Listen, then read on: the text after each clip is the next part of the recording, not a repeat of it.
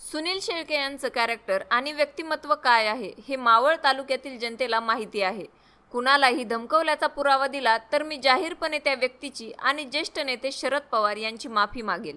राजकारणात पुढे जाण्याचा प्रत्येकाला अधिकार आहे पण अशा पद्धतीने घाणेरडं राजकारण करण्याची वेळ आज तर माझ्यावर आलेली नाही. अशा शब्दात राष्ट्रवादी काँग्रेसचे मावळचे आमदार सुनील शेळके यांनी ज्येष्ठ नेते शरद पवार यांनी केलेल्या टीकेला उत्तर दिले. शरद पवार यांची आज लोणावळ्यात सभा झाली. त्या सभेत बोलताना पवार यांनी सुनील शेळके यांना उद्देशून तू आमदार कुणामुळे झाला? असा सवाल करून नीट वाग नाही तर मला शरद पवार म्हणतात असा इशारा दिला आहे. त्यावर आमदार शेळके बोलत होते. ते म्हणाले शरद पवार यांच्यावर आमची आजही श्रद्धा आहे आणि उद्या भविष्यातही राहणार आहे. पवार साहेबांनी असं वक्तव्य का केलं याबाबतची कुठलीही कल्पना मला नाही. राष्ट्रवादी काँग्रेसचा एक कार्यकर्ता म्हणून मी उपमुख्यमंत्री अजित पवार यांच्यासोबत खंबीरपणे उभा राहणार आहे. आजही आहे आणि उद्याही राहणार आहे. पवार साहेब आणि त्यांच्यासोबत असणारे नेते मंडळी माझ्याबाबत मावळ मतदारसंघात जे वक्तव्य करत आहेत मी कुणालाही दम दिला सभेला जाऊ नका असं म्हटल्याचं सांगितलं जात आहे. मला त्यांनी एका कार्यकर्त्याचा फोन अथवा माहिती दिली तर मी त्याबाबत जाहीरपणाने माफी मागेल. पण शरद पवार मावळ तालुक्यात येत असताना त्यांच्यासोबत राज्यातील राष्ट्रवादी काँग्रेसचे नेते माझ्या मतदारसंघात येऊन पन्नास देखील कार्यकर्ते येत नाहीत. त्यामुळे तालुक्यातील शिवसेना काँग्रेस आणि मित्र पक्षाचे कार्यकर्ते एकत्रित घेऊनही केवळ तीनशे लोकांमध्येच त्यांना कार्यक्रम करावा लागत आहे. विकास कामांच्या जोरावर मावळमधील जनता आज अजित पवारांच्या पाठीशी ठामपणे उभी आहे असेही शेळके यांनी नमूद केले. आमदार सु सुनील शेळके म्हणाले मावळ तालुक्यातील जनता सुज्ञ आहे. त्यांना योग्य वाटलेला निर्णय त्यांनी घेतलेला आहे. तालुक्यातील जनतेच्या जीवावर माझं राजकारण असेल. माझ्या तालुक्याच्या विकासात योगदान देणारे अजितदादा यांच्या पाठीशी हा तालुका खंबीरपणाने उभा आहे. पद आणि उद्याची राजकीय कारकीर्द डोळ्यासमोर ठेवून आम्ही राजकारण करत नाही. साहेबांनी असं विधान माझ्याबाबत का केलं याचा विचार मी पुढच्या काळात नक्कीच करेल. बाबा रे तू आमदार कुणामुळे झाला? तुझ्या सभेसाठी इथे कोण आलं होतं? त्यावेळी तुझ्या पक्षाचा अध्यक्ष कोण होतं? निवडणुकीत पक्षचिन्हासाठी नेत्यांची सही लागते ती सही माझी आहे. जे कार्यकर्ते तुम्हाला निवडून आणण्यासाठी राबले घाम गाळला आज त्यांनाच तुम्ही दमदाटी करत आहात.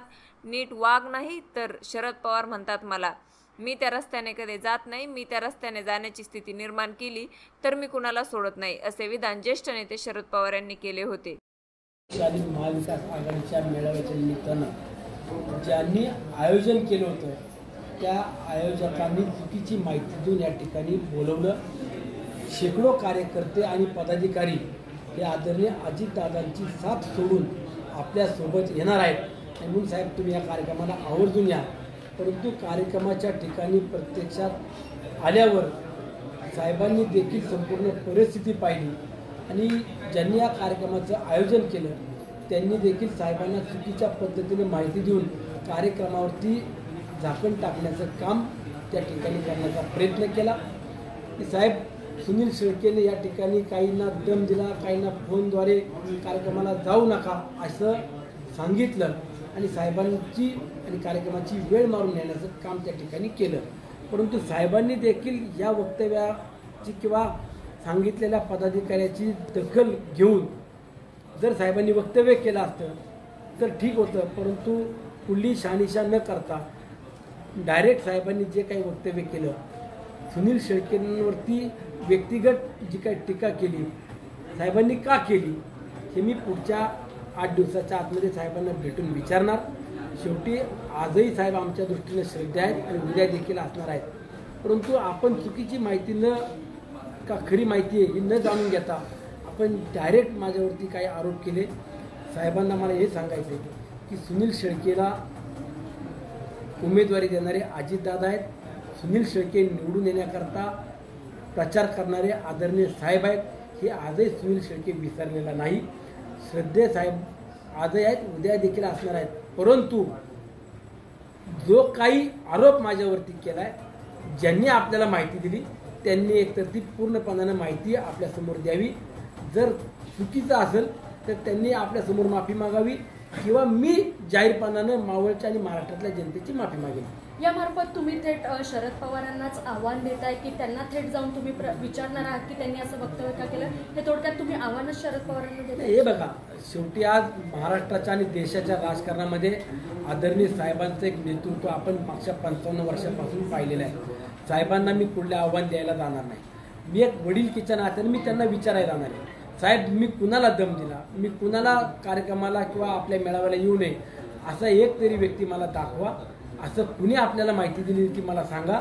जर ती माहिती खोटी असेल ज्यांनी माहिती दिली त्यांनी एकतर माफी मागावी किंवा जर कुठल्या व्यक्तीनं ह्या पुराव्याशी या सुनील शेळकेनं मला दादागिरी केली हे जर दाखवलं तर मी माफी मागेन.